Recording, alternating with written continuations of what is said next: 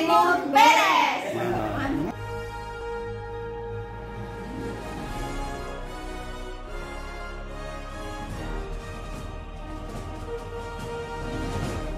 yang, belum. Ini misalnya yang kami survei dulu adalah pemasaran telur eh, asin di Aceh Utara. 60% itu masih dari Sumatera Utara, 40 dari dari dari lokal. Nah, kebutuhan dengan yang dipasok ini ada kekurangan. Misalnya eh, 20%. Gap inilah yang akan kita masuki. 20% ini yang akan kita penuhi. Karena kita penuhi 100%, eh, 100% pun nggak akan sanggup. Nah, survei pasar, segmennya siapa? Apakah kalangan atas, kalangan bawah, kalangan bawah, atau menengah, atau menengah ke bawah?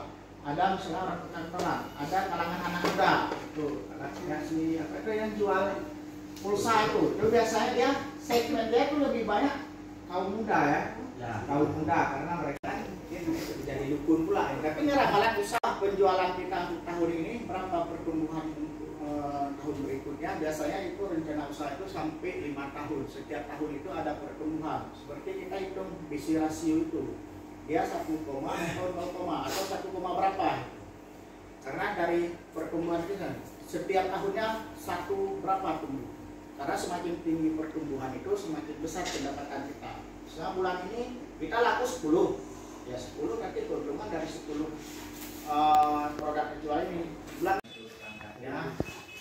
Pengurus BND posyandu rekan DA dan eh, rekan PD yang BND sedang sedang sedang kurang. Eh, dikarenakan kita hari ini mati lampu tidak bisa eh, itu di slide karena kalau ini pun sebenarnya itu nggak bisa gitu. kita di sini praktek langsung kalau nggak praktek langsung pun ini kita apa bicara ngisinya saja eh, bagaimana Gitu. cara ngisinya ini harusnya ada koktur ya tapi nggak apa nanti kalau diajukan itu harus ada koktur ya ya kita bekerja Aceh Timur Berarti contohnya Pak dia. Nah. Boleh silakan dicoret-coret. Tapi kalau diajukan nanti dikerti uh, file ada ya di sini sudah ada? Jadi kalau mau file lagi minta case ya kopi dari uh, hukumnya aspek legalitas ya. Kan kayak kita kemarin kalau kita bilang kalau buka kafe remang-remang di sini itu semua orang dan dari sendiri. 3,7 dari ini uh, dari uh, dari APBD Tapi untuk file ininya yang apa ya tadi lengkap. Yang ini. di sini dia nanti ada masuk di operasionalnya. Makanya kan? Nah ini ini lampiran. Pak Kecil setiap tahun setelah menganggarkan itu wajib membuat kanun tingkatkan modal artinya begini itu untuk melindungi modal itu.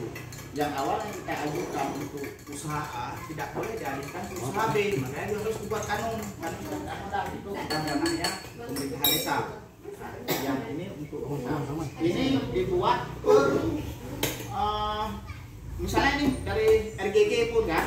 Kalau RGG punya ke depan ini membuat program hidroponik. Ini bisa juga dipakai. Eh, ini semua usaha bisa baik jasa maupun produksi. Ini Ya dari di sini dalam di apa belakang. ini usaha ya Eh, ini usaha jasa ya. semua. itu. Bisa bisa semua ini eh, dibuat per usaha misalnya untuk perikanan saya boleh untuk perikanan artinya Ya, satu setiap bidang berarti satu bidang. Nah, itu. Nah, kalau nama BMG itu udah jelas ya. Nama BMG udah jelas. Kalau unitnya, nah unitnya, kalau misal perikanan unitnya apa itu? Masuk. Kalau kita bicara ikan, dia unit dengan jenis beda. Beda ya. Dia perikanan kan? Perdagangan, perdagangan. perdagangan. Karena kan dia eh, ada eh, itu ada perdagangan, ada nah, nah, Jadi rambut kita merah semua nanti, corong bule nanti. tidak ya, pakai. Uh, syarat pengajuan modal ke PBMG kepada pemerintahan desa yang pertama surat permohonan dari pengurus BMG untuk mengajukan modal berapa totalnya tidak ada di sini nanti misalnya 50 juta atau 100 itu lampirannya tadi ini ya analisa usaha. Kalau pakai analisa usaha standarnya BPKP maaf up ya. saya pun masih belajar. Tapi ya, saya sendiri masih agak pening-pening juga itu. Habis kopi dua termos belum ngerti juga ya tapi itu. Karena aplikasi laptop pun laptop aplikasinya khusus yang mereka pakai. Itu tapi enggak intinya kita ada ada analisa usaha yang menjelaskan uang yang kita ajukan berapa ke mana saja. Gitu. ke mana saja kita gunakan berapa prediksinya eh, rugi labanya karena yang nama usaha ada laba ada rugi tapi jangan target itu rugi bersih. Gitu. harus ada laba bersih. Ini kan ke depan kita nggak ada gaji lagi Pak Lisi Eh, nggak ada nggak ada bagi hasil kan ada gaji. Ada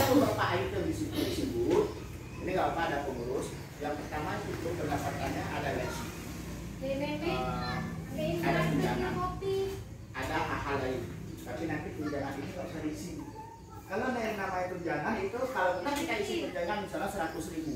Mau nggak mau setiap bulan kita harus berikan tunjangan itu. Nah, perlu diisi ah, berikan saja gaji pokok. Item lainnya ini buat saja bonus. Bonusnya gini apabila pada tahun ini BUMD mencapai target eh, keuntungannya target misalnya target keuntungan 20 juta. Apabila dia mencapai target itu dia dapat bonus 10 nah lebih enak itu kan. Kalau di bawah itu ya nggak dapat ini ada itu untuk memotivasi harus mencapai target untuk mengejarkan bonus Ya. kan perusahaan itu mainnya ada ya betul Nah, konsekuensi daripada itu juga pengurus BMB itu nanti kalau keuangannya sudah pas, dia harus daftarkan di BPJS Tenaga Kerja. BPS, BP, eh, enggak. Tuh, dari silakan dicoret-coret aja tuh nggak apa-apa. Boleh coret ya, Pak Edo ya. Seperti Pak Edo itu. Nanti lagi.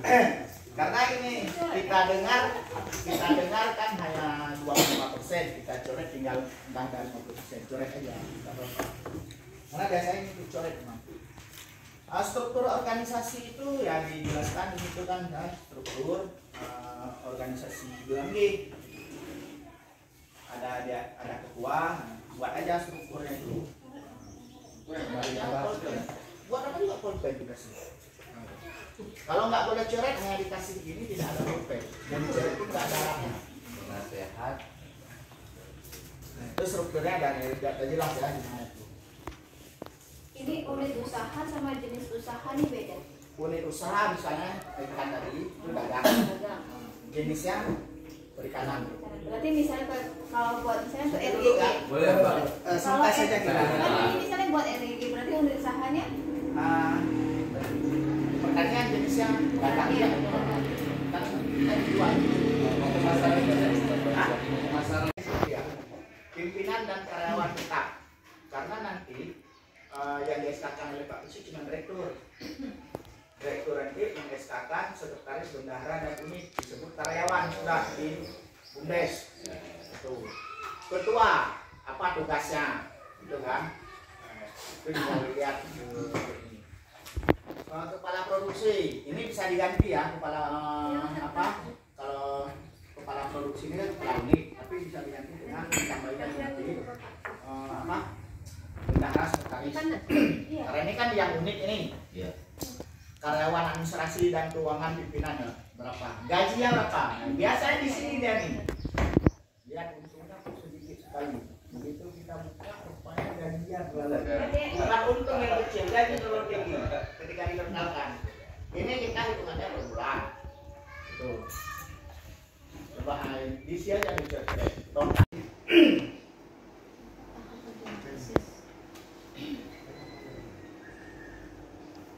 untuk pengurus BUMG eh, BUMG terus untuk yang mungkin dulu ada usaha yang lain eh, boleh promosi bahwa sebuah eh, sesuatu itu harus direncanakan dulu eh, masuk sebuah usaha. Karena sesuatu yang tidak direncanakan kita sedang merencanakan sebuah kegagalan oh setelah kita rencanakan itu berjalan lancar enggak juga karena ada kendala. Tapi kalau tidak ada rencana kendala itu. Nah, tahapannya itu itu kan proses perencanaan. Ada tahap-tahap ini perencanaan bisnisnya.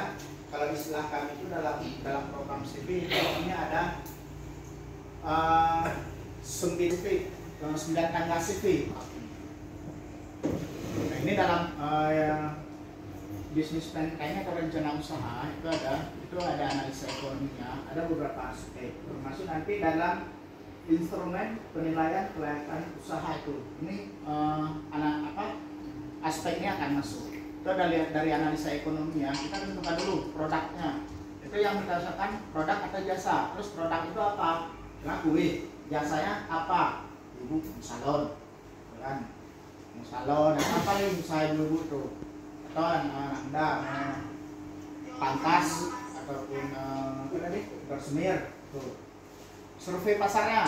Nah, itu eh, service juga itu eh, jasa. Survei pasar. Ada nggak itu